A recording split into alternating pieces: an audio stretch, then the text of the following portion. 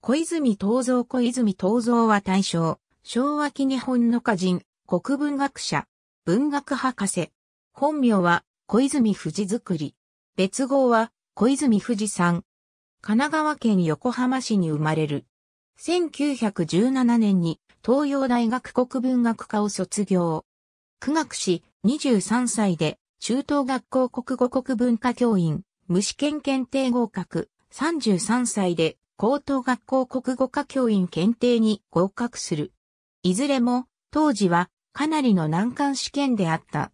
立命館大学、関西学院大学、一時は国立北京師範大学教授をも兼任する。専攻は国語国文学。古典から近代まで研究対象は多岐にわたり、明治大正短歌資料体制は貴重な資料として評価が高い。和歌は、尾上採集に指示し、歌詞、大箱を経て、水亀の導人となる。一時は、水亀の編集にも関わる。慶城にいた時代に、ポトナム氏を創刊し、水亀の導人を実す。現実的新叙情主義短歌を提唱。雑誌の統制期に入ると、ポトナムを荒らぎに併合させて休刊している。弟子に和田修造など、白川聖も若い頃に小泉の講義に影響を受けた。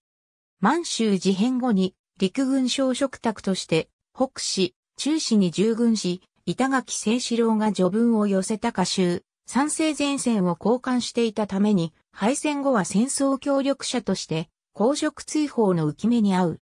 1952年9月に追放解除されるが、長男の戦死のショックもあり著作活動を行うエネルギーを失ったまま死去した。